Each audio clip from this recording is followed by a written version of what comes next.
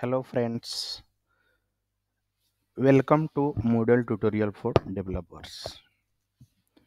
This this is a Moodle com complete tutorial, but here I am starting with my first video. In this video, we will see the how to set up a video Moodle and how to run it. So before start, we need to have the Moodle setup. Download it from moodle.org empty Moodle data directory and the database you can create with your name as you like. So let's begin. So I have already downloaded my Moodle setup and unzip this inside this one. This is the downloaded latest downloaded one the Moodle 4.1 plus so at the time of downloading please make sure you are downloading the stable version. Okay so inside this. You can go to download section. Then you can click on this. So it will redirect to this page. You can see this version is stable. That means we can use this. Okay. So let's start so now we have already downloaded this and extracted to this folder now i have created a empty Moodle data directory. Okay so this one is empty.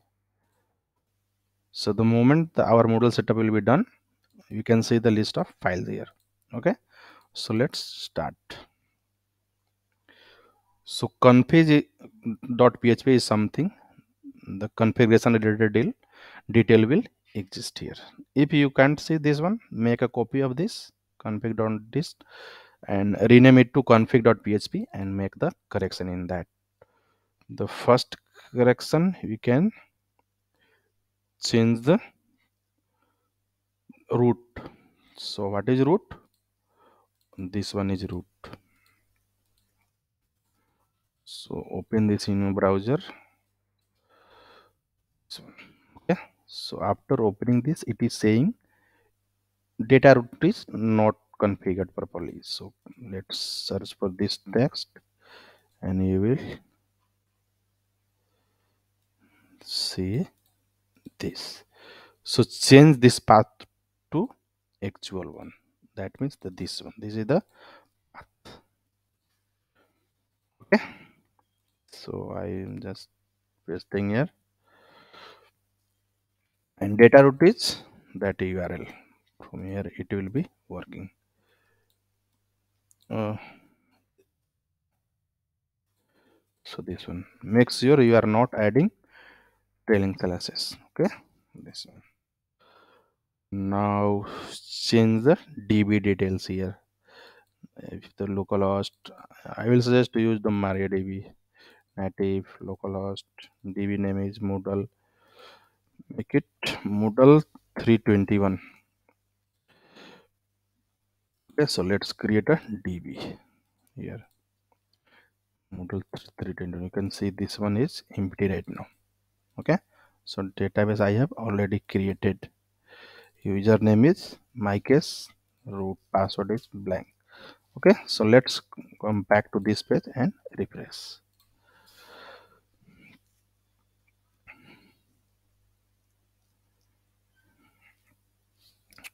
okay from here now the installation will start. The moment we come to this page you have made everything.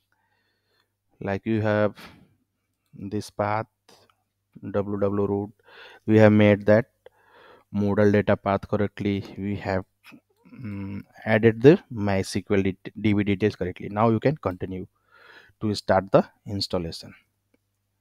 Okay keep continuing until not you get the final one.